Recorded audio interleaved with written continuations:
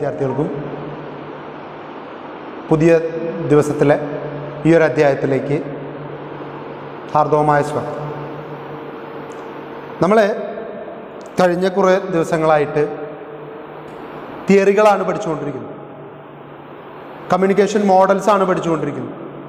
ഈ കമ്മ്യൂണിക്കേഷൻ മോഡലുകളിലൂടെ നമ്മൾ ചർച്ച ചെയ്യുന്ന ഒരു വിഷയം എന്ന് പറയുന്നത് എങ്ങനെ കൃത്യമായിട്ട് മീഡിയയുടെ മെസ്സേജുകൾ ജനങ്ങളിലേക്ക് എത്തിക്കാൻ കഴിയുന്നു. ആ എത്തിക്കുന്ന മെസ്സേജുകളിലൂടെ എങ്ങനെ അവരുമായിട്ട് കമ്മ്യൂണിക്കേറ്റ് ചെയ്യുന്നു? അത് എത്തരത്തിൽ ഉള്ള ഇമ്പാക്റ്റുകളാണ് സമൂഹത്തിൽ ഉണ്ടാക്കിയെടുക്കുന്നതെന്ന് ഉൾപ്പെടെയുള്ള കാര്യങ്ങളാണ് നമ്മൾ ഈ ചർച്ചയിലൂടെ അല്ലെങ്കിൽ ഈ കഴിഞ്ഞ ക്ലാസ്സുകളിലൂടെ കണ്ടുകൊണ്ടിരിക്കുന്നത്. ഇപ്പം നമ്മൾ അതിന്റെ ഏറ്റവും അവസാനത്തെ സെഗ്മെന്റിലാണ് നിൽക്കുന്നത്. അവസാനത്തെ മൂന്ന് തിയറികളാണ് നമ്മളിനി പഠിക്കാനായിട്ട് പോകുന്നത്. ഓൾറെഡി ബോർഡിൽ എഴുതിയിട്ടിട്ടുണ്ട് Soviet media theory development media theory democratic participant theory ഈ തിയറികൾ കൂടി എങ്ങനെയാണെന്ന് പറഞ്ഞു കഴിഞ്ഞാൽ നമ്മളുടെ കമ്മ്യൂണിക്കേഷൻ റിലേറ്റഡ് ആയിട്ടുള്ള മാസ് മീഡിയ റിലേറ്റഡ് ആയിട്ടുള്ള എല്ലാ തിയറികളും കഴിഞ്ഞു. നമ്മൾ ഈ ചാപ്റ്ററിന്റെ തുടക്കത്തിൽ അഞ്ചോളം തിയറികൾ കമ്മ്യൂണിക്കേഷൻ മോഡൽസ് പഠിച്ചു. ഫസ്റ്റ് വൺ അരിസ്റ്റോട്ടിലിന്റെ മോഡലാണ് ഞാനിതിനൊന്ന് ഒരു ചുരുക്കം പറഞ്ഞതിന് ശേഷം ഈ മൂന്ന് തിയറി പറയാട്ടോ. അരിസ്റ്റോട്ടലിന്റെ തിയറിയാണ് നമ്മൾ ആദ്യം കണ്ടത്. മൂന്നേ മൂന്ന് ഘടകങ്ങളെ മാത്രം മുൻനിർത്തിക്കൊണ്ടാണ് അരിസ്റ്റോട്ടൽ അദ്ദേഹത്തിന്റെ തിയറി പറഞ്ഞ് അവസാനിപ്പിച്ചത്. Speaker speech audience. കഴിയും. രണ്ടാമത്തേത് Lasswell's model of communication nineteen forty എയ്റ്റിൽ അദ്ദേഹം അഞ്ച് ചോദ്യങ്ങൾ ചോദിക്കുന്നു. Who says what in which channel to whom and with what effect. അഞ്ച് ചോദ്യങ്ങൾ. ആ അഞ്ച് ചോദ്യങ്ങൾ മനസ്സിലാക്കാൻ ചില റിസർച്ച് മെത്തഡോളജികൾ കൂടി അദ്ദേഹം അവിടെ തന്നിരിക്കുകയാണ്. അദ്ദേഹത്തിന് അഞ്ച് ചോദ്യങ്ങൾക്ക് ഉത്തരം പറഞ്ഞാൽ അഞ്ച് എലമെന്റ്സ് ആയി. കമ്മ്യൂണിക്കേറ്റർ അഥവാ source message channel receiver effect അഞ്ചെണ്ണത്തെക്കുറിച്ച് അദ്ദേഹം ചർച്ച ചെയ്യുന്നു. ദെൻ നമ്മൾ കണ്ട അടുത്ത തിയറി കമ്മ്യൂണിക്കേഷൻ മോഡലാണ് Shannon and Weaver's model mathematical model of communication mathematical മോഡലാണ് അതുകൊണ്ട് തന്നെ അല്പം കൂടി ഒതന്റിക് ആയിട്ടുള്ള സയന്റിഫിക്കലി പ്രൂവ്ഡ് ആയിട്ടുള്ള ഒരു കമ്മ്യൂണിക്കേഷൻ രീതിയായിരുന്നു മോഡലായിരുന്നു അദ്ദേഹത്തിന്റേത്. അത് നമ്മൾ കണ്ടിരുന്നു കുറച്ച് ബോക്സുകൾ വരച്ച്. ആദ്യത്തെ ബോക്സിൽ ഇൻഫർമേഷൻ സോഴ്സ് അവിടെ നിന്നും മെസ്സേജ് രൂപപ്പെടുന്നു. അത് ട്രാൻസ്മിറ്ററിലേക്ക് പാസ് ചെയ്യുന്നു. ട്രാൻസ്മിറ്ററിൽ നിന്നും അത് സിഗ്നൽ ആയിട്ട് മാറുന്നു. സിഗ്നൽ ചാനലിലൂടെ കടന്നു പോകുന്നു ആ സമയത്ത് താഴെ നിന്നും നോയ്സ് അതിനെ ഡിസ്ട്രോട്ട് ചെയ്യുന്നു. ഡിസ്ട്രോട്ട് ചെയ്യുന്ന നോയ്സിന് കടന്ന് അത് അപ്പുറത്തോട്ട് കടക്കുമ്പോൾ റിസീവ്ഡ് സിഗ്നൽ ആവുന്നു. ഈ റിസീവ്ഡ് സിഗ്നലിന് റിസീവർ അഥവാ ട്രാൻസ്മിറ്റർ എന്ന് തന്നെ പറയാം. പക്ഷെ റിസീവർ എന്നാണ് അവർ പറഞ്ഞിരിക്കുന്നത്. അതുകൊണ്ട് നമുക്കും അങ്ങനെ തന്നെ പറയാൻ പറ്റുള്ളൂ. ഈ റിസീവർ അതിനെ പിടിച്ചെടുക്കുന്നു. അതിനെ വീണ്ടും മെസ്സേജ് ആക്കി മാറ്റുന്നു സിഗ്നലിൽ നിന്നും. അത് ഡെസ്റ്റിനേഷനിലേക്ക് എത്തുന്നു. ഡെസ്റ്റിനേഷനാണ് നമ്മളെ സംബന്ധിച്ചിടത്തോളം ഇവിടുത്തെ റിസീവർ എന്ന് പറയുന്നത്. യഥാർത്ഥത്തിൽ നമ്മൾ പറയാറുള്ള റിസീവർ ഇവരുടെ തിയറിയിൽ ഡെസ്റ്റിനേഷനാണ് ഇനിയുള്ളത് ഓസ്ഗുഡ് ആൻഡ് വിൽബർ ഷാം കണ്ടെത്തിയ സർക്കുലർ മോഡൽ ഓഫ് കമ്മ്യൂണിക്കേഷൻ ആണ്. നമ്മൾ പറഞ്ഞു ഒരു ഇന്റർപ്രറ്റർ ഉണ്ടായിരിക്കും. അയാൾ എൻകോഡ് ചെയ്യുന്നത് മെസ്സേജ് ആയിട്ട് ഡീകോഡ് ചെയ്യപ്പെട്ട് ഒരു അടുത്ത ഇന്റർപ്രറ്ററിലേക്ക് കടന്നു വന്ന് അദ്ദേഹം വീണ്ടും എൻകോഡ് ചെയ്ത് അടുത്തൊരു മെസ്സേജ് ക്രിയേറ്റ് ചെയ്ത് അത് ഇപ്പുറത്തേക്ക് കൊടുത്തു വിടുമ്പോൾ അത് ഇവിടെ ഡീകോഡ് ചെയ്ത് വീണ്ടും ഇന്റർപ്രറ്റർ അത് മനസ്സിലാക്കി. അടുത്ത മെസ്സേജിനെ എൻകോഡ് ചെയ്ത് അത് അപ്പുറത്തോട്ട് പാസ് ചെയ്ത്. ഇതിങ്ങനെ ഒരു എൻഡ്ലെസ് പ്രോസസ് ആയിട്ട് തുടർന്നുകൊണ്ടേ ഇരിക്കുമെന്നാണ് സർക്കുലർ മോഡലിൽ പറഞ്ഞത്. അത് നാലാമത്തെ തിയറിയാണ് തിയറി അല്ല നാലാമത്തെ മോഡൽ ഓഫ് കമ്മ്യൂണിക്കേഷൻ ആണ്. കാരണം അതിനൊക്കെ ജിയോഗ്രഫി എന്താ പറയുക ഗ്രാഫിക്കൽ പ്രസന്റേഷൻ ഉണ്ടായിരുന്നു. അതുകൊണ്ടാണ് ഞാൻ അതിന്റെ കമ്മ്യൂണിക്കേഷൻ മോഡൽസ് എന്ന് പറയാനായിട്ട് കാരണം ഫിഫ്ത്ത് വൺ ആണ് ബെർലോന്റെ S M C R model S M C R model മിക്കപ്പോഴും പരീക്ഷയ്ക്ക് ചോദിക്കുന്ന കണ്ടിട്ടുള്ളതാണ്. സോഴ്സ് മെസ്സേജ് ചാനൽ റിസീവർ അതിനെ എങ്ങനെ തിരിച്ചറിയാം എന്നുള്ളതിന് കൃത്യമായിട്ട് കൊടുത്തിട്ടുണ്ട്. സോഴ്സിന് അദ്ദേഹം കൊടുത്തിരിക്കുന്ന രീതികളാണ്. ഒന്ന് കമ്മ്യൂണിക്കേഷൻ സ്കില്ലാണ് രണ്ട് ആറ്റിറ്റ്യൂഡാണ് മൂന്ന് നോളജാണ് നാല് സോഷ്യൽ സിസ്റ്റമാണ് അഞ്ച് കൾച്ചറാണ് അതുപോലെ തന്നെ അദ്ദേഹം പറയുന്നു മെസ്സേജിൽ കണ്ടന്റ് ഉണ്ട് എലമെന്റ് ഉണ്ട് ട്രീറ്റ്മെന്റ് ഉണ്ട് സ്ട്രക്ചർ ഉണ്ട് കോഡ് ഉണ്ട്. മൂന്നാമത്തെ എലമെന്റ് എന്ന് പറയുന്നത് മൂന്നാമത്തെ കമ്മ്യൂണിക്കേഷൻ എലമെന്റ് എന്ന് പറയുന്നത് ചാനലാണ് അതിന് അദ്ദേഹം പറയുന്നു ടച്ചിങ് സീയിങ് ഹിയറിങ് അതുപോലെ തന്നെ ടേസ്റ്റിങ് സ്മെല്ലിങ് അഞ്ചെണ്ണം. ഇപ്പുറത്തോട്ട് വന്നാൽ റിസീവറിനും അദ്ദേഹം അഞ്ച് ക്വാളിറ്റി തന്നെയാണ് പറയുന്നത്. Communication skill attitude social system code അതുപോലെ തന്നെ നോളജ് അഞ്ച് കാര്യം. അതോടെ എസ് എം സി ആർ മോഡലും കഴിയാണ്. പിന്നെ നമ്മൾ ബേസിക് കമ്മ്യൂണിക്കേഷൻ തിയറീസ് ആണ് പഠിച്ചത്. മോഡലല്ല തിയറീസ് ആണ്. അതിൽ ആദ്യത്തെ തിയറി എന്ന് പറയുന്നത് സ്റ്റിമുലസ് റെസ്പോൺസ് തിയറിയാണ് ന്യൂസ് മീഡിയയിൽ നിന്നും ഒരു മാജിക് ബുള്ളറ്റ് പോലെ കടന്നു വരുന്ന ന്യൂസുകൾ സമൂഹത്തെ ഓഡിയൻസിനെ സ്വാധീനിക്കുകയും അവരിൽ കൃത്യമായിട്ടുള്ള മാറ്റങ്ങൾക്ക് വിധേയമാവുകയും ചെയ്യുന്ന പ്രവണതയെയാണ് ഇദ്ദേഹം സ്റ്റിമുലസ് റെസ്പോൺസ് തിയറി എന്ന് പറയുന്നത്. ഈ സ്റ്റിമുലസ് റെസ്പോൺസ് തിയറിയിലൂടെ പറഞ്ഞു വയ്ക്കുന്നത് ഓഡിയൻസ് നിഷ്ക്രിയരാണെന്നും പാസീവായിട്ട് ഇതിനെ കൺസ്യൂം ചെയ്യുകയും അതിനോട് ക്രിട്ടിക്കലി ഇവാലുവേറ്റ് ചെയ്യാതെ ഒരു റെസ്പോൺസ് കൊടുക്കുകയും ചെയ്യുന്നതുകൊണ്ടാണ് ഒരു സ്റ്റിമുലസ് റെസ്പോൺസ് തിയറിക്ക് കാരണമായി തീർന്നത് പിന്നീടുള്ളത് നോർമാറ്റീവ് തിയറീസ് ആണ്. ആദ്യത്തേത് അതോറിറ്റേറിയൻ തിയറിയാണ് അതോറിറ്റേറിയൻ തിയറി പറയുന്നു ഗവൺമെന്റിനാണ് പൂർണ സ്വാതന്ത്ര്യം. ഗവൺമെന്റ് തീരുമാനിക്കുന്ന വിവരങ്ങൾ മാത്രമാണ് ന്യൂസ് മീഡിയയിലൂടെ പുറത്തു വരുന്നത്. ന്യൂസ് മീഡിയയ്ക്ക് സെൻസർഷിപ്പ് ഉണ്ടായിരിക്കും. പ്രീ സെൻസർഷിപ്പിനാണ് കൂടുതൽ സാധ്യതയുള്ളത്. അത്തരം അവസ്ഥയെ മറികടക്കാൻ ന്യൂസ് മീഡിയ ശ്രമിച്ചു കഴിഞ്ഞാൽ അവരെ സെൻസർ ചെയ്യാനും അവരെ ജയിലിലാക്കാനും അവർക്കെതിരെ പിഴ അടപ്പിക്കാനും ഒക്കെയുള്ള രീതി നിലനിൽക്കുന്ന രാജ്യങ്ങളിലെ മീഡിയ സംവിധാനത്തെയാണ് അതോറിറ്റേറിയൻ തിയറിയിലൂടെ വ്യക്തമാക്കുന്നത്. സെക്കൻഡ് വൺ ലിബർട്ടേറിയൻ തിയറിയാണ് ലിബർട്ടേറിയൻ തിയറിയിലൂടെ വ്യക്തമായിട്ട് പറയുന്നു മീഡിയയ്ക്ക് സ്വാതന്ത്ര്യം കൊടുക്കണം. ഈ മീഡിയയ്ക്ക് പൂർണ സ്വാതന്ത്ര്യം ലഭിച്ചാൽ മാത്രമേ കൃത്യമായിട്ടുള്ള പബ്ലിക് ഒപ്പീനിയൻ ക്രിയേറ്റ് ചെയ്യപ്പെടാനായിട്ട് കാരണമായി തീരുകയുള്ളൂ പക്ഷെ ഇതിനും ലിമിറ്റേഷൻ ഉണ്ട്. ലിമിറ്റേഷൻ മറ്റൊന്നുമല്ല. ഒന്നാമത്തേത് പ്രൈവറ്റ് ഇൻഡിവിജ്വൽസിന്റെ ഫ്രീഡത്തിലേക്ക് അവരുടെ പ്രൈവസിയിലേക്കുള്ള കടന്നുകയറ്റത്തിനുള്ള സ്വാതന്ത്ര്യമായിട്ട് മീഡിയ അതിന് ഉപയോഗിക്കും. രണ്ട് വലിയ ഗ്രൂപ്പുകൾ ഫാമിലികൾ മീഡിയയെ കൈയടക്കി വെച്ച് അവരുടെ സ്വാർത്ഥ ലാഭത്തിനു വേണ്ടി അവരുടെ സെൽഫ് സാറ്റിസ്ഫാക്ഷനും ഇക്കണോമിക്കൽ ഡെവലപ്മെന്റിനും വേണ്ടി മീഡിയയെ മിസ്യൂസ് ചെയ്യാനുള്ള സാധ്യതയും കൂടുതലാണ്. തേർഡ് വൺ സോഷ്യൽ റെസ്പോൺസിബിലിറ്റി തിയറിയാണ് മീഡിയയുടെ അമിത സ്വാതന്ത്ര്യം അത് പിന്നീട് ദോഷകരമായി ബാധിക്കുന്നു എന്ന് കണ്ടപ്പോൾ അതിനെപ്പറ്റി ചർച്ച നടത്താനും പഠനം നടത്താനും ഒരു കമ്മിറ്റിയെ നിയോഗിക്കുകയും ആ കമ്മിറ്റി കണ്ടെത്തിയതിന്റെ വെളിച്ചത്തിൽ സോഷ്യൽ റെസ്പോൺസിബിലിറ്റി പബ്ലിക് വെൽബീയിങ് ആയിരിക്കണം.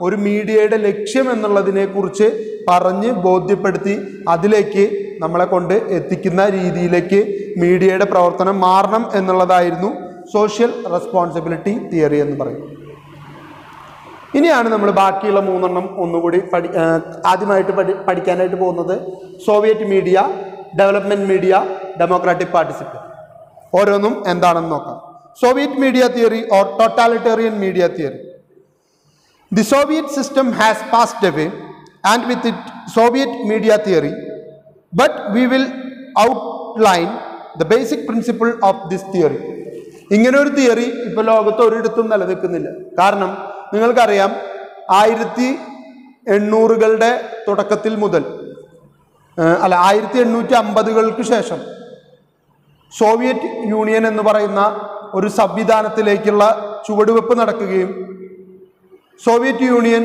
വളരെ ശക്തമായിട്ട് നിലകൊള്ളാനുള്ള സാഹചര്യങ്ങൾ ഉണ്ടായി വരികയും ഇരുപതാം നൂറ്റാണ്ടിന്റെ തുടക്കത്തിൽ ആയിരത്തി തൊള്ളായിരത്തിന് ശേഷം ശക്തമായിട്ട് സോവിയറ്റ് യൂണിയൻ ഉയർന്നു വരികയും മറ്റൊരു പ്രധാന എതിരാളിയായിരുന്ന അമേരിക്കയെ ശക്തമായി എതിർത്ത് നിൽക്കുകയും ചെയ്തിരുന്നു.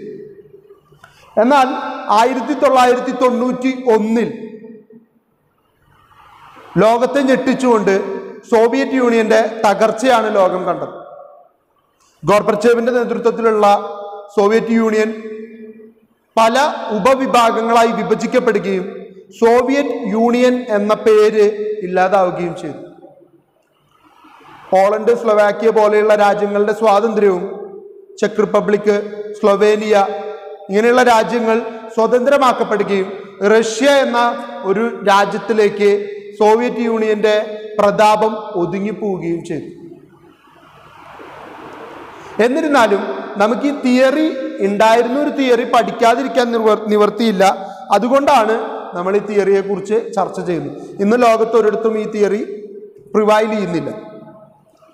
Media in general produce and reproduce the ideology of the ruling class or the elite in order to establish and maintain socialist society, media should reflect their interest, sorry, um, media should reflect the interest and ideology of the working class to achieve this objective, direct control over the media by the dominant political party was seen essential. അതായത് ഇവിടെ പബ്ലിക്കിനാണ് പ്രാധാന്യം പബ്ലിക്കിൽ തന്നെ working ക്ലാസ്സിനാണ് പ്രാധാന്യം കൂടുതൽ ഈ working ക്ലാസ്സിന് വേണ്ടിയിട്ടായിരിക്കണം media പ്രവർത്തിക്കുന്നത്. ആ മീഡിയയുടെ പ്രവർത്തനത്തെ വിലയിരുത്താനും നിയന്ത്രിക്കാനും ഗവൺമെന്റ് ഉണ്ടായിരിക്കണം അല്ലെങ്കിൽ ആ രാജ്യം ഭരിക്കുന്ന പൊളിറ്റിക്കൽ പാർട്ടി ഉണ്ടായിരിക്കണം.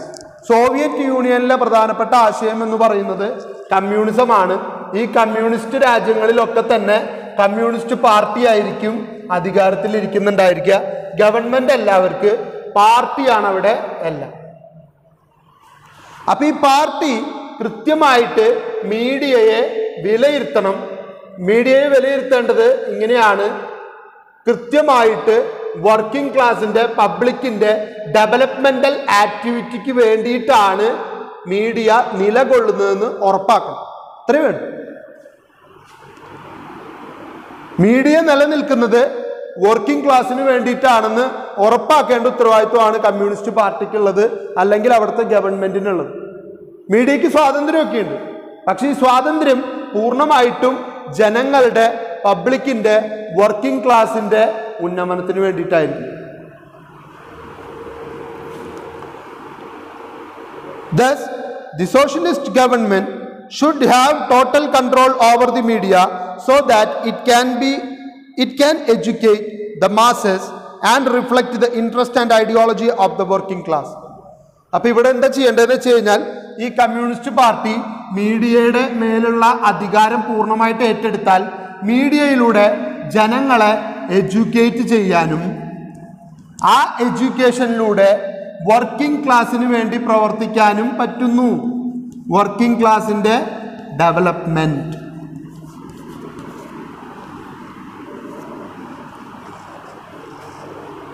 പാർട്ടി മീഡിയയെ നിയന്ത്രിച്ച് ആ മീഡിയയിലൂടെ ജനങ്ങളെ എഡ്യൂക്കേറ്റ് ചെയ്ത് ആ എഡ്യൂക്കേഷനിലൂടെ വർക്കിംഗ് ക്ലാസിന്റെ ഡെവലപ്മെന്റിന് വേണ്ടി ശ്രമിക്കുന്ന രീതി. ഇതാണ് സോവിയറ്റ് മീഡിയ തിയറി എന്ന് വിളിക്കുന്നത്. അഥവാ ടോട്ടാലിറ്റേറിയൻ മീഡിയ തിയറി എന്ന് വിളിക്കുന്നത്. ടോട്ടൽ ഡെവലപ്മെന്റ് ആണ്. പാർട്ടിയാണ് ഗവൺമെന്റ് എന്ന് പറയുന്നത്. ആ ഗവൺമെന്റ് മീഡിയയെ പൂർണമായിട്ട് ഏറ്റെടുക്കുക. ആ മീഡിയയിലൂടെ ജനങ്ങൾക്ക് ആവശ്യമായിട്ടുള്ള എഡ്യൂക്കേഷൻ കൊടുക്കുക. എഡ്യൂക്കേഷൻ എന്ന് വെച്ചാൽ വിദ്യാഭ്യാസമല്ല. അറിവുകൾ കൊടുക്കുക. ഗവൺമെന്റിന്റെ പോളിസികളെ കുറിച്ച് ഗവൺമെന്റ് ജനങ്ങൾക്ക് വേണ്ടി നടപ്പിലാക്കുന്ന പ്രവർത്തനങ്ങളെക്കുറിച്ച് അവർക്ക് കിട്ടേണ്ട ക്ഷേമ പെൻഷനുകളെ കുറിച്ച് ഒക്കെ എഡ്യൂക്കേറ്റ് ചെയ്ത് മനസ്സിലാക്കി കൊടുത്ത് അവരുടെ ഓവറോൾ ഡെവലപ്മെന്റിന് വേണ്ടി പ്രവർത്തിക്കുക. The primary function of the media were to educate. അഥവാ ഇൻഫോം ഇൻഫോം അഥവാ എഡ്യൂക്കേറ്റ് രണ്ട് രീതിയിലും വിളിക്കാം. Motivate and mobilize citizen and support progressive movement government നടപ്പിലാക്കുന്ന പ്രോഗ്രസീവ് മൂവ്മെന്റ്സിനെ കുറിച്ച് വർക്കിംഗ് ക്ലാസ്സിന് എഡ്യൂക്കേറ്റ് ചെയ്ത് ഇൻഫോം ചെയ്ത് ഇവരെ ഗവൺമെന്റിന്റെ പാർട്ടിയുടെ കൂടെ നിർത്തുക. അപ്പോഴാണ് ഗവൺമെന്റിന് കൃത്യമായിട്ടുള്ള ഭരണം നടത്താൻ പറ്റുള്ളൂ. വർക്കിംഗ് ക്ലാസ് കൂടെ നിൽക്കണം സാധാരണക്കാരൻ കൂടെ നിൽക്കണം ജനങ്ങളുടെ വിശ്വാസം നേടിയെടുക്കാൻ പറ്റണം. അതിന് മീഡിയയെ ഉപയോഗിച്ച് ഒരു എഡ്യൂക്കേറ്റീവ് ഇൻഫോർമേറ്റീവ് പോളിസി നടപ്പിലാക്കുകയാണ് സോവിയറ്റ് മീഡിയ തിയറി എന്ന് പറയുന്നത്. അതോറിറ്റേറിയൻ വേറെയാണ്. അതോറിറ്റേറിയൻ പബ്ലിക്കിന്റെ നന്മയ്ക്ക് വേണ്ടിയിട്ടല്ല ഗവൺമെന്റിന്റെ നന്മയ്ക്ക് വേണ്ടി ഗവൺമെന്റിന് വേണ്ട കാര്യങ്ങൾ മാത്രം ജനങ്ങൾ അറിയിക്കുക. ഇവിടെ പക്ഷെ ജനങ്ങളുടെ നന്മ നിലനിർത്തിക്കൊണ്ട് കമ്മ്യൂണിസ്റ്റ് ഗവൺമെന്റ് അല്ലെങ്കിൽ ആ രാജ്യത്തെ ഗവൺമെന്റ് ഏതോ ആ ഗവൺമെന്റ് മീഡിയയെ ഏറ്റെടുത്ത് അതിനെ എഡ്യൂക്കേറ്റ് ചെയ്യാനും ഇൻഫോം ചെയ്യാനും ആയിട്ട് ഉപയോഗപ്പെടുത്തുകയാണ്. നല്ല കാര്യത്തിന് വേണ്ടിയിട്ടാണ്. Censorship and restriction on the media were considered legitimate the press broadcasting cinema book publishing all messages system were in service of the state ഈ സോവിയറ്റ് രാജ്യങ്ങളിലൊക്കെ ഉണ്ടാവുന്ന സിനിമകൾ പുസ്തകങ്ങൾ പ്രസിദ്ധീകരണങ്ങൾ ഒക്കത്തിനും ഒരു ലക്ഷ്യമുള്ളൂ. എന്റർടൈൻമെന്റ് അല്ല. Inform and educate the working class or the public common man the proletariat wing Soviet യൂണിയന്റെ ആശയമായിട്ടുള്ള കമ്മ്യൂണിസത്തിൽ എപ്പോഴും പറയുന്നത് ലോകത്ത് രണ്ട് ക്ലാസ്സേ ഉള്ളൂ എന്നാണ്. രണ്ട് വിഭാഗേ ഉള്ളൂ എന്നാണ്. ഒന്ന് ബൂർഷോയ്സും മറ്റൊന്ന് പ്രോളിറ്റേറിയറ്റും ബൂർഷോയ്സ് എന്ന് പറയുന്നത് മധ്യവർഗം അല്ലെങ്കിൽ ഒരു ആവറേജിന് മുകളിൽ സമ്പാദിക്കുന്ന ഒരു economical class proletariats that means working class ഈ വർക്കിംഗ് ക്ലാസ്സും ഈ പറയുന്ന ക്യാപിറ്റലിസ്റ്റ് ഗ്രൂപ്പും തമ്മിലുള്ള ക്ലാസ് സ്ട്രഗിളാണ് ലൈഫ് എന്ന് പറയും. ആ ക്ലാസ് സ്ട്രഗിളിൽ ജയിക്കുന്നത് എപ്പോഴും വർക്കിംഗ് ക്ലാസ് ആയിരിക്കണമെന്നാണ് കമ്മ്യൂണിസ്റ്റ് ആശയം. അവരുടെ ഉന്നമനം അവരുടെ ഡെവലപ്മെന്റ് നേടിയെടുക്കാനാണ് ശ്രമിക്കേണ്ടത്. ഒരു ഈക്വാലിറ്റി സമത്വം. ഉള്ളവനും ഇല്ലാത്തവനും തമ്മിലുള്ള അന്തരം ഇല്ലാതാക്കുന്ന പ്രവർത്തനമാണ് കമ്മ്യൂണിസം എന്ന് പറയുന്നത് ശരിക്കും. പക്ഷെ അത് അതിന്റെതായിട്ടുള്ള ആന്തരിക സൗന്ദര്യത്തോടു കൂടി ലോകത്തൊരുത്തിലും അവതരിപ്പിക്കപ്പെടുന്നില്ല എന്നുള്ളതാണ് കമ്മ്യൂണിസം തകരാനും സോവിയറ്റ് യൂണിയൻ തകരാനും ഒക്കെ കാരണമായി തീർന്നു സോ സോവിയറ്റ് മീഡിയ എന്ന് പറയുന്നത് തിയറി എന്ന് പറയുന്നത് ഇതാണ്. കമ്മ്യൂണിസ്റ്റ് ഗവൺമെന്റ് അല്ലെങ്കിൽ ഗവൺമെന്റ് ആരാണ് അവർ? വർക്കിംഗ് ക്ലാസിന്റെ ഡെവലപ്മെന്റിന് വേണ്ടി മീഡിയയെ ഉപയോഗിച്ച് ഇൻഫോം ആൻഡ് എഡ്യൂക്കേഷൻ എഡ്യൂക്കേറ്റ് നടത്തുന്ന രീതിയാണ് സോവിയറ്റ് മീഡിയ തിയറി എന്ന് പറയുന്നത്. ഇനി നമുക്ക് രണ്ടാമത്തേത് നോക്കാം. Development media. Development media theory എന്താണ് പറയുന്നത് നോക്കാം. എങ്ങനെയായിരിക്കണം പത്രപ്രവർത്തനമെന്ന് അല്ലെങ്കിൽ എങ്ങനെയായിരിക്കണം മാധ്യമ പ്രവർത്തനമെന്നാണ് ഈ തിയറി പറയുന്നതെന്ന് നമുക്കൊന്ന് നോക്കി നോക്കാം. Development media theory development media theory applies to the media in developing countries developing കൺട്രീസിന് വേണ്ടിയിട്ടാണ് ഇത്തരത്തിലൊരു മീഡിയ സ്ട്രാറ്റജി ഫോം ചെയ്തിട്ടുള്ളത്. ഡെവലപ്പിംഗ് കൺട്രിയാണ് ഡെവലപ്പിംഗ് മീൻസ് വികസ്വര രാജ്യങ്ങൾ. ഏറ്റവും വലിയ ഉദാഹരണം ഇന്ത്യയാണ്. The four theories of the media namely authoritarian libertarian, social responsibility and Soviet media theories were said have to have no direct bearing on the developing countries of Asia Africa and South America ഇവിടെ ഇതുവരെ പറഞ്ഞ നാല് theory ആദ്യത്തെ ക്ലാസ്സിൽ കഴിഞ്ഞ ക്ലാസ്സിൽ നമ്മൾ ചർച്ച ചെയ്ത മൂന്ന് theory authoritarian libertarian then social responsibility theory then ഈ ക്ലാസ്സിൽ ചർച്ച ചെയ്ത സോവിയറ്റ് മീഡിയ തിയറി ഈ നാല് തിയറിയും ഡെവലപ്ഡ് ആയിട്ടുള്ള രാജ്യങ്ങൾക്ക് വേണ്ടിയിട്ടോ അല്ലെങ്കിൽ അണ്ടർ ഡെവലപ്ഡ് ആയിട്ടുള്ള അതോറിറ്റേറ്റീവ് ആയിട്ടുള്ള രാജ്യങ്ങൾക്ക് വേണ്ടിയിട്ടുള്ള തിയറികളാണ് ഇതല്ലാത്ത തിയറിയുള്ള രാജ്യങ്ങളും ഉണ്ട്. ഇവിടെ സാധാരണക്കാർ താമസിക്കുന്ന ഡെവലപ്പിംഗ് കൺട്രീസ് ആയിട്ടുള്ള ഇന്ത്യ പോലെയുള്ള ഏഷ്യയിലെ മറ്റ് രാജ്യങ്ങളുണ്ട്. അവർക്ക് വേണ്ടിയിട്ടൊരു തിയറി വേണ്ടേ? അവർക്ക് വേണ്ടിയിട്ടാണ് ഡെവലപ്മെന്റ് മീഡിയ തിയറി എന്ന പേരിൽ ഡെവലപ്പിംഗ് കൺട്രീസിന് വേണ്ടിയിട്ട് ഒരു തിയറി പ്രൊഫൗണ്ട് ചെയ്തിരിക്കുകയാണ്. Development media theory advocates that media should support the ruling government ഇവിടെയും മാറ്റമൊന്നുമില്ല. ഗവൺമെന്റിന് വേണ്ടിയിട്ടാണ് നിലകൊള്ളേണ്ടത്. പ്രൈമറി ഒബ്ജക്റ്റീവ് എന്ന് പറയുന്നത് to support the governmental activities and to motivate the governmental activities with the help of public support അങ്ങനെ ചെയ്യുമ്പോഴുള്ള മെച്ചം എന്താ? ജനങ്ങൾ കൂടെ നിന്നാൽ ഗവൺമെന്റിന് പണി ഈസിയായില്ലേ ഗവൺമെന്റിന്റെ ഏറ്റവും വലിയ ആവശ്യം ജനങ്ങളുടെ സപ്പോർട്ടാണ് അപ്പോഴല്ലേ പ്രവർത്തനങ്ങൾ കൂടുതൽ കാര്യക്ഷമമാക്കാനായിട്ട് പറ്റുള്ളൂ അതുകൊണ്ട് ഈ പബ്ലിക് സപ്പോർട്ട് നേടിയെടുക്കാൻ ഗവൺമെന്റിനെ സപ്പോർട്ട് ചെയ്യുന്ന രീതി സഹായിക്കുന്ന രീതിയായിരിക്കണം മീഡിയ ഫോളോ ചെയ്യേണ്ടത് It must be supportive rather than critical of the government until the nation is well established and its economic development goals are achieved. ഇവിടെ പബ്ലിക് സപ്പോർട്ട് ക്രിയേറ്റ് ചെയ്യാൻ media ഗവൺമെന്റിന്റെ കൂടെ നിൽക്കണം. മീഡിയ ഗവൺമെന്റിന്റെ കൂടെ നിൽക്കണം. പക്ഷേ ഈ കൂടെ നിൽക്കുന്നത് എന്തിനു വേണ്ടിയിട്ടായിരിക്കണം?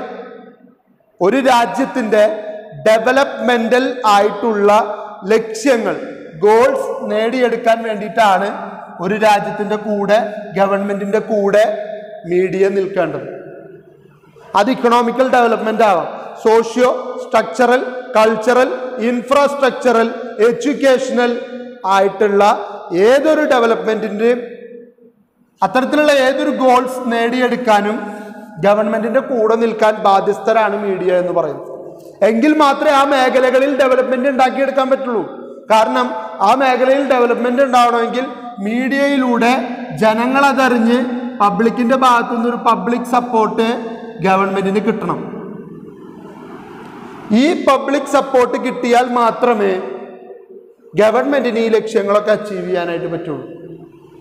അതാണ് ഡെവലപ്മെന്റിന് സഹായകരമാവുന്നതിന് മാത്രം റിപ്പോർട്ട് ചെയ്തുകൊണ്ട് ആ രാജ്യത്തിന്റെ ഗവൺമെന്റിന് വേണ്ടി അല്ലെങ്കിൽ ആ രാജ്യത്തെ ഗവൺമെന്റിന്റെയും ആ രാജ്യത്തിന്റെ ജനങ്ങളുടെയും ഉന്നമനത്തിന് വേണ്ടിയിട്ട് മീഡിയ പ്രവർത്തിക്കുന്ന രീതിയായിരിക്കണം ഡെവലപ്മെന്റ് മീഡിയ തിയറി എന്ന് പറയുന്നത്.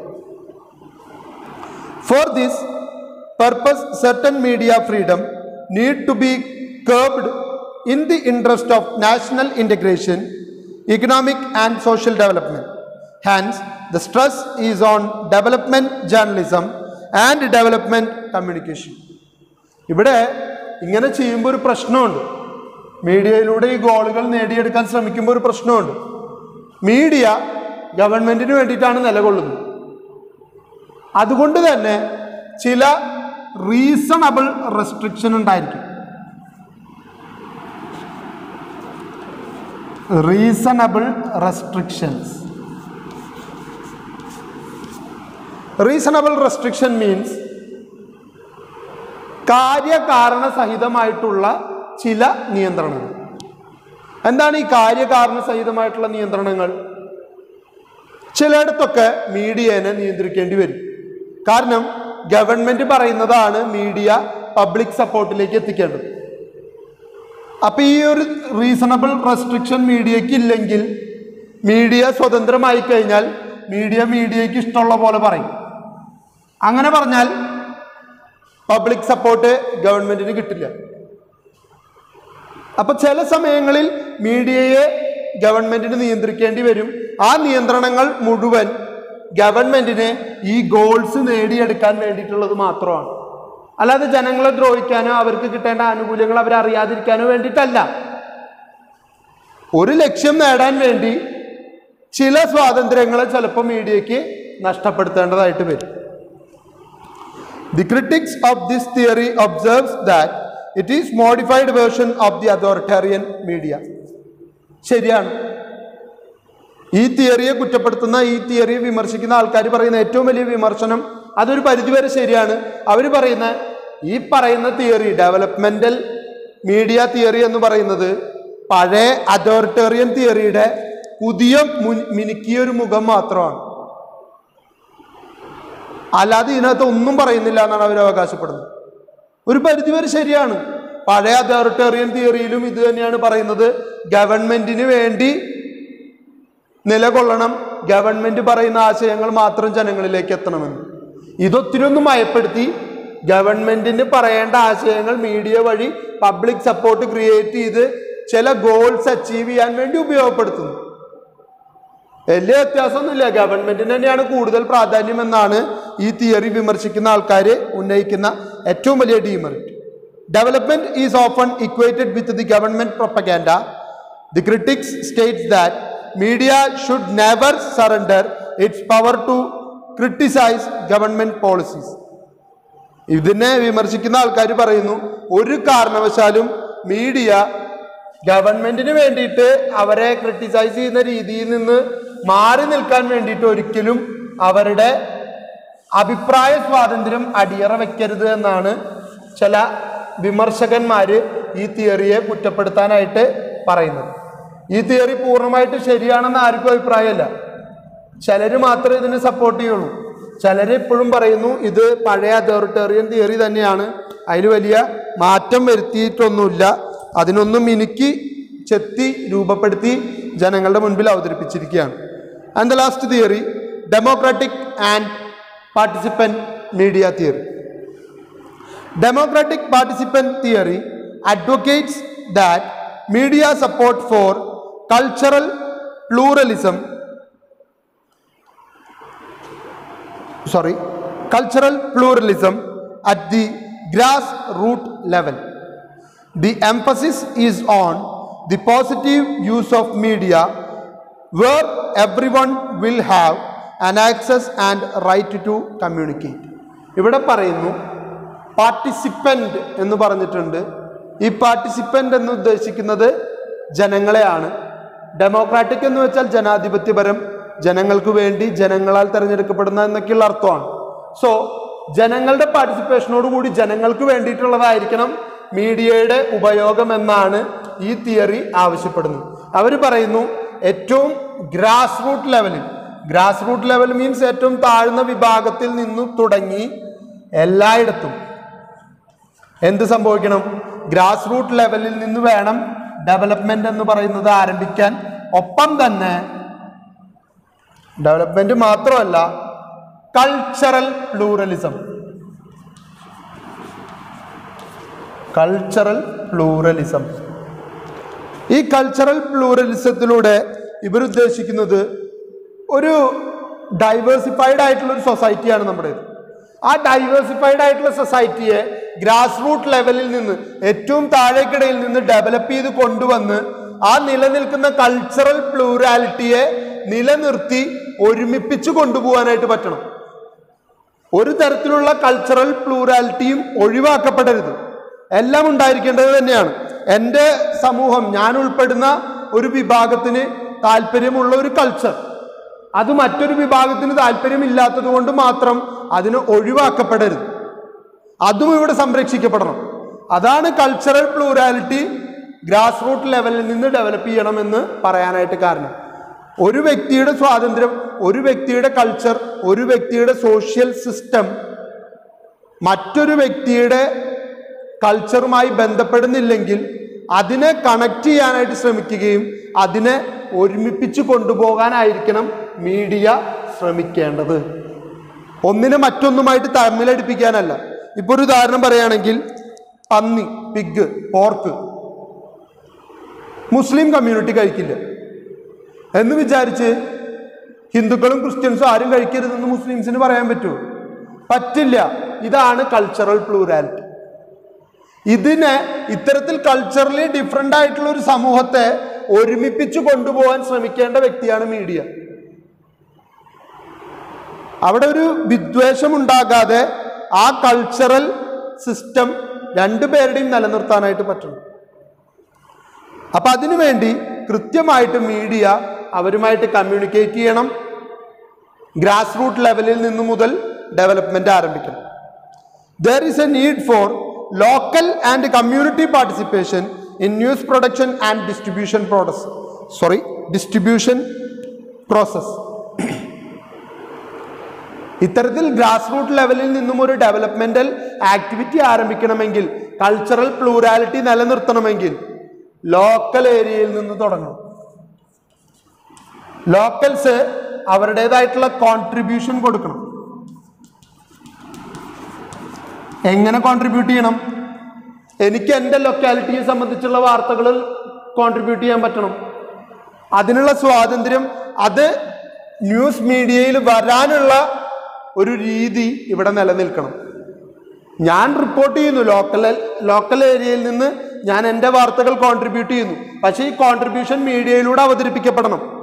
അതാണ് ഡെമോക്രാറ്റിക് പാർട്ടിസിപ്പന്റ് ജനങ്ങളിൽ നിന്ന് പാർട്ടിസിപ്പേഷൻ എടുത്ത് മീഡിയ പ്രവർത്തിക്കുന്ന രീതി.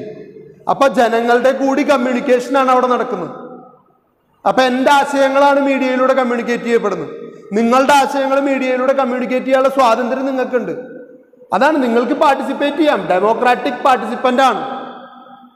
എല്ലാവരുടെയും ഈക്വൽ ആയിട്ടുള്ള പാർട്ടിസിപ്പേഷനിലൂടെ നിലനിൽക്കുന്ന കൾച്ചറൽ പ്ലൂറാലിറ്റിയെ മുന്നോട്ട് കൊണ്ടുപോകാനായിട്ട് പറ്റണം. എല്ലാ വിഭാഗങ്ങളെയും നിലനിർത്തി ഒരുമിപ്പിച്ച് കൊണ്ടുപോകാനുള്ള സാഹചര്യം സാധ്യത ഉണ്ടാക്കിയെടുക്കലാണ് ഡെമോക്രാറ്റിക് പാർട്ടിസിപ്പൻ മീഡിയ തിയറിയിലൂടെ ശ്രമിക്കുന്നത്. Small media or community media should be encouraged and the government should offer subsidy to this media to survive.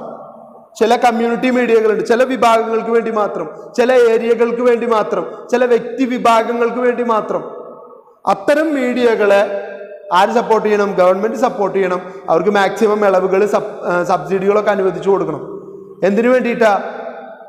അത്തരം ലോക്കൽ മീഡിയാസ് ഉണ്ടായാലേ ലോക്കൽ ന്യൂസിനെ കൂടുതലായിട്ട് കമ്മ്യൂണിക്കേറ്റ് ചെയ്യാനായിട്ട് പറ്റുള്ളൂ നമ്മുടെ ലൊക്കാലിറ്റിയിലുള്ള വാർത്തകൾ കാണാനും കേൾക്കാനുമാണ് നമുക്ക് താല്പര്യം. കാരണം അത് നമ്മുടെ എന്നൊരു വികാരം നമുക്കുണ്ടായിരുന്നു. നമ്മൾ നേരത്തെ പ്രോക്സിമിറ്റി എന്നൊരു വാക്ക് പഠിച്ചിരുന്നു. ഈ പ്രോക്സിമിറ്റി കാണിക്കുന്നത് അതാണ്. അടുപ്പം നമ്മുടേത് എന്നുള്ളൊരു തോന്നലുണ്ടാവണം. നിങ്ങളുടെ വീടിന്റെ അവിടെ ഒരാളെ പേപ്പട്ടി കടിച്ചു അയാൾക്ക് പേവിഷബാധ ഏറ്റു എന്ന് കേൾക്കുന്നതിന് കേൾക്കുന്ന അത്ര വേദനയും വികാരവും ഒന്നും തമിഴ്നാട്ടിലെ ഒരാളെ പേപ്പട്ടി കടിച്ചു എന്ന് പറഞ്ഞാൽ നിങ്ങൾക്ക് ഉണ്ടാവില്ല അതാണ് ആ ലോക്കൽ എംപതി എന്ന് പറയുന്നത്. നിങ്ങൾ ഇത്തിരിയും കൂടി എംപത്തറ്റിക് ആവുകയാണ് അല്ലെങ്കിൽ സിമ്പത്തറ്റിക് ആവുകയാണ് എന്തിനോട്? നിങ്ങളുടെ ലൊക്കാലിറ്റിയോട് അതാണ്. ഇപ്പൊ നമ്മളുടെ കോളേജിൽ ഒരു വിദ്യാർത്ഥിക്ക് ഒരു പ്രശ്നം വന്നാൽ നമ്മുടെ എന്നൊരു തോന്നലുണ്ടാവും. അതേ പ്രശ്നം തന്നെ വേറൊരു കോളേജിൽ വേറൊരു വിദ്യാർത്ഥിക്ക് വന്നാൽ അത് നമ്മൾ അത്രയ്ക്ക് അങ്ങോട്ട് സിമ്പതി നമുക്ക് ക്രിയേറ്റ് ചെയ്യപ്പെടില്ല. കാരണം ആ അവിടെയല്ലേ? മറ്റേത് ഇവിടെയല്ലേ? ഇവിടെ എന്നുള്ള വിഷയം വരുമ്പോഴാണ്. അപ്പൊ ലോക്കൽസിന്റെ വിഷയങ്ങൾ ചർച്ച ചെയ്യപ്പെടണമെങ്കിൽ ഡെമോക്രാറ്റിക് ആയിട്ടുള്ള പാർട്ടിസിപ്പേഷനുള്ള ഒരു സ്വാതന്ത്ര്യം വേണം. ജനാധിപത്യപരമായിട്ടുള്ള പങ്കാളിത്തം. ഓരോരുത്തർക്കും ഈക്വൽ ആയിട്ടുള്ള അല്ലെങ്കിൽ ഓരോ വിഭാഗത്തിൽ നിന്നും ഏറ്റവും താഴേക്കിടയിൽ നിന്ന് പോലും പാർട്ടിസിപ്പേറ്റ് ചെയ്യാനുള്ള ഒരു സ്വാതന്ത്ര്യം ലഭിക്കുമ്പോൾ മാത്രമാണ് ഡെമോക്രാറ്റിക് പാർട്ടിസിപ്പന്റ് ഡെവലപ്മെന്റ് എന്ന് പറയുന്ന ആക്ടിവിറ്റി മീഡിയ തിയറി സർവൈവ് ചെയ്യുള്ളൂ. Commercial political and bureaucratic control of the media should give way to democratization of information as well as the right to participation in the production and distribution of media product, products. ഇവിടെ പറയാണ് ചില സാമ്പത്തിക വ്യാവസായിക സ്വാധീനത്തിലോ രാഷ്ട്രീയ താല്പര്യത്തിനോ ചില ഉന്നത അധികാരികളുടെ താല്പര്യത്തിനോ വേണ്ടിയിട്ടായിരിക്കരുത് media പ്രവർത്തനങ്ങൾ എന്ന് പറയുന്നു മീഡിയ എപ്പോഴും നിലകൊള്ളേണ്ടത് ഓരോ വ്യക്തിയുടെയും ജനാധിപത്യപരമായിട്ട് ഓരോ വ്യക്തികളുടെയും സ്വാതന്ത്ര്യത്തിനും അവരുടെ അവർക്ക് ന്യൂസ് ഉണ്ടാക്കാനും അത് പ്രൊഡ്യൂസ് ചെയ്യാനും അത് ഡിസ്ട്രിബ്യൂട്ട് ചെയ്യാനുള്ള അവകാശം ലഭിക്കുന്ന തരത്തിലേക്കായിരിക്കണം മീഡിയയുടെ പ്രവർത്തനങ്ങളെ ഏകീകരിപ്പിക്കുകയാണ്. അല്ലാതെ ചില വിഭാഗങ്ങൾ മാറ്റി നിർത്തി. അത് നിങ്ങളുടെ വാർത്തയൊന്നും ഈ ചാനലിന് കൊടുക്കേണ്ട കാര്യമില്ല. അതിനൊന്നും അത്രയ്ക്കുള്ള ഇമ്പോർട്ടൻസ് ഇല്ല. മാറിക്ക്. അങ്ങനെ ഒരു വിഭാഗത്തെയും മാറ്റി നിർത്തപ്പെടരുത്. എല്ലാവർക്കും കൃത്യമായിട്ടുള്ള സ്വാതന്ത്ര്യം ലഭ്യമാക്കപ്പെടുന്ന രീതിയിലായിരിക്കണം എന്ത് ചെയ്യേണ്ടത്? നമ്മളുടെ ഓരോ വാർത്തകളും സൃഷ്ടിക്കപ്പെടേണ്ടത്. എങ്കിൽ മാത്രമേ എല്ലാവരുടെയും ഗ്രാസ് റൂട്ട് ലെവലിൽ നിന്ന് ഏറ്റവും താഴേക്കിടയിൽ നിന്നുള്ള ഉന്നമനം ഡെവലപ്മെന്റ് എന്ന് പറയുന്നത് സാധ്യമാവുള്ളൂ. അതിനു വേണ്ടിയിട്ടാണ് ഇത്തരത്തിലുള്ള democratic participant media theory create ചെയ്തിരിക്കുന്നത്. The theory emphasizes the importance of the role of the receiver in communication process such as the right of the citizens to relevant information, right to be heard, right to reply. ഇത്തരത്തിൽ localise ചെയ്യപ്പെടുന്ന വാർത്തകളിൽ നിന്നാണ് സാധാരണ ജനങ്ങൾക്ക് പ്രതികരിക്കാനും അവർക്കറിയേണ്ട വാർത്തകൾ അറിയാനും ഉള്ള ഒരു സാഹചര്യം ക്രിയേറ്റ് ചെയ്യപ്പെടുള്ളൂ മനോരമ അവരുടെ ഹെഡ് ഓഫീസിൽ ഇരുന്നിട്ട് പാവർട്ടിയിൽ നടക്കുന്ന ഒരു ചെറിയ വിഷയത്തെ ചിലപ്പോൾ ചർച്ച ചെയ്യില്ല. പക്ഷെ ഒരു പാവർട്ടിക്കാരന് ആ ലോക്കൽ വാർത്ത റിപ്പോർട്ട് ചെയ്യാനുള്ള കോൺട്രിബ്യൂട്ട് ചെയ്യാനുള്ള അവകാശം കിട്ടുകയാണെങ്കിൽ അയാളത് മീഡിയയിലൂടെ പറഞ്ഞു കഴിഞ്ഞാൽ പാവർട്ടി ഏരിയയിലുള്ളവർക്ക് മുഴുവൻ അത് കേൾക്കാനും അതിനെക്കുറിച്ച് റിപ്ലൈ ചെയ്യാനുള്ള ഒരു അവസരം കിട്ടും. ഇവിടെ ഒരു വലിയ മൾട്ടിനാഷണൽ കമ്പനി വന്ന് ഇവിടുത്തെ ഭൂമിയും ഇവിടുത്തെ വയലുകളും ഇവിടുത്തെ കുളങ്ങളും നശിപ്പിക്കാൻ തീരുമാനിച്ചാൽ അത് ലോ ലോക്കലായിട്ടുള്ള ഒരാൾക്ക് ആ വാർത്ത കോൺട്രിബ്യൂട്ട് ചെയ്യാൻ പറ്റുള്ളൂ. ആ വാർത്ത അറിഞ്ഞു കഴിഞ്ഞാൽ ഡെമോക്രാറ്റിക് പാർട്ടിസിപ്പേറ്ററി തിയറിയിലൂടെ മീഡിയ അതിനെ ഫോക്കസ് ചെയ്താൽ അത് പാവർട്ടിയിലുള്ള ജനങ്ങൾ കേട്ടാൽ നാളെ ആ കമ്പനിക്കെതിരായിട്ട് പ്രവർത്തിക്കാനും ആ കമ്പനിക്കെതിരായിട്ട് തിരിഞ്ഞ് സമരം ചെയ്യാനും ഇവിടുത്തെ ജനങ്ങളെ ഉദ്ബോധിപ്പിക്കാനായിട്ട് പറ്റും. ഇതാണ് ഡെമോക്രാറ്റിക് പാർട്ടിസിപ്പേറ്ററി തിയറിയുടെ ഏറ്റവും വലിയ പ്രത്യേകത എന്ന് പറയുന്നത്. അപ്പോൾ മൂന്ന് തിയറിയാണ് നമ്മൾ ഇന്നത്തെ ക്ലാസ്സിൽ ചർച്ച ചെയ്തത്. ഒന്ന് സോവിയറ്റ് മീഡിയ തിയറിയാണ്. രണ്ടാമത്തേത് ഡെവലപ്മെന്റ് മീഡിയ തിയറി മൂന്നാമത്തേത് ഡെമോക്രാറ്റിക് പാർട്ടിസിപ്പേറ്ററി തിയറി. ആദ്യത്തെ തിയറിയിൽ സോവിയറ്റ് മീഡിയയിൽ നമ്മൾ പറഞ്ഞു ഇപ്പോൾ ഒരിക്കലും നിലനിൽക്കുന്നില്ല. സോവിയറ്റ് ആശയങ്ങളെ നിലനിർത്തിക്കൊണ്ട് ഗവൺമെന്റിന്റെ അതോറിറ്റിയോടുകൂടി അല്ലെങ്കിൽ ഗവൺമെന്റിന്റെ അതോറിറ്റിക്ക് കീഴിൽ മീഡിയയെ നിലനിർത്തി വർക്കിംഗ് ക്ലാസ്സിനെ പബ്ലിക്കിനെ എഡ്യൂക്കേറ്റ് ചെയ്ത് ഇൻഫോം ചെയ്ത് സോഷ്യൽ ഡെവലപ്മെന്റിന് വേണ്ടി വർക്കിംഗ് ക്ലാസ്സിന്റെ ഡെവലപ്മെന്റിന് വേണ്ടി സഹായകരമാവുന്ന രീതിയിലേക്ക് വളർത്തി പബ്ലിക് പബ്ലിക് ഒപ്പീനിയൻ ക്രിയേറ്റ് ചെയ്യുന്ന രീതിയാണ് സോവിയറ്റ് മീഡിയ തിയറി എന്ന് പറയുന്നത്. ഡെവലപ്മെന്റ് മീഡിയ തിയറി എന്ന് പറയുന്നത് അതോറിറ്റേറിയൻ തിയറിയുടെ മറ്റൊരു മുഖമാണ് ഗവൺമെന്റിന്റെ സഹായത്തോടെ തന്നെ അല്ലെങ്കിൽ ഗവൺമെന്റിന്റെ ആക്ടിവിറ്റീസ് ജനങ്ങളിലേക്ക് എത്തിച്ച് ജനങ്ങളുടെ പബ്ലിക് സപ്പോർട്ടോടുകൂടി ഗവൺമെന്റിന്റെ പ്രവർത്തനങ്ങളെ മുന്നോട്ട് കൊണ്ടുപോകുന്ന രീതിയാണ് ഡെവലപ്മെന്റൽ മീഡിയ എന്ന് പറയുന്നത്. പക്ഷേ ഇത് ചെയ്യാൻ പാടില്ലാത്തതാണെന്നും അത് അതോറിറ്റേറിയൻ തിയറിയുടെ മറ്റൊരു മുഖമാണെന്നുമാണ് ചില വിമർശകര് വിമർശനാത്മകമായിട്ട് ഇതിനെ പറയുന്നത്.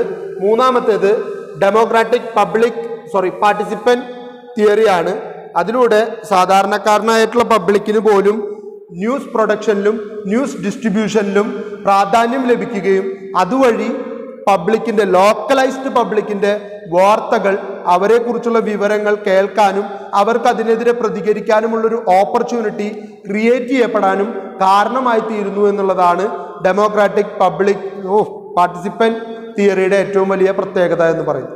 അപ്പോൾ ഈ മൂന്ന് തിയറികളും നന്നായിട്ട് പഠിക്കുക.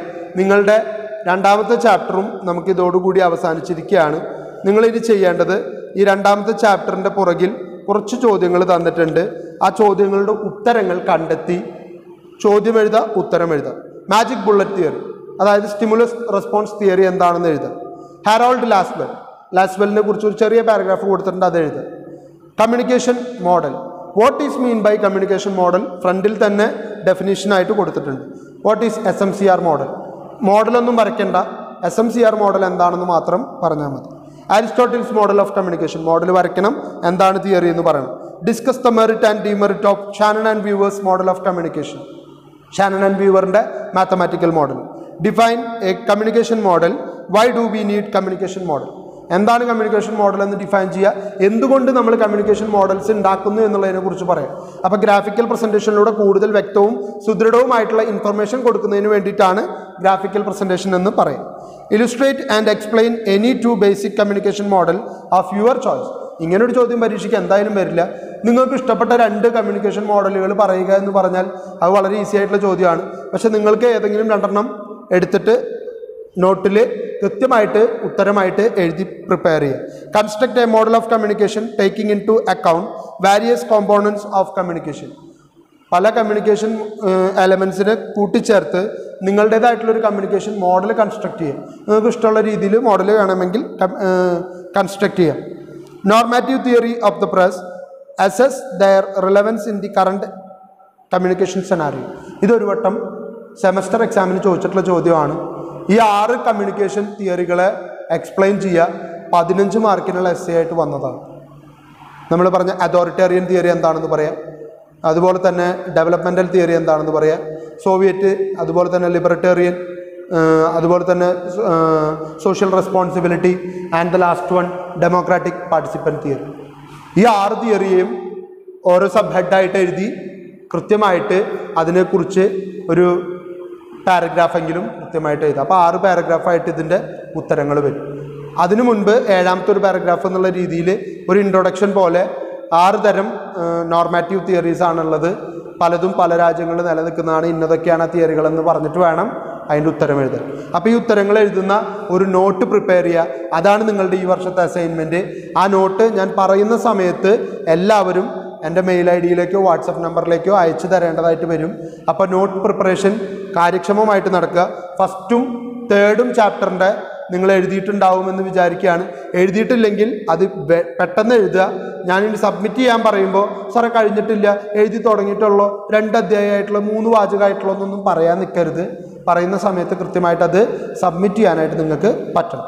അപ്പോൾ എല്ലാവർക്കും നല്ലൊരു ദിവസം ഉണ്ടാവട്ടെ എന്ന് ആശംസിക്കുന്നു. താങ്ക്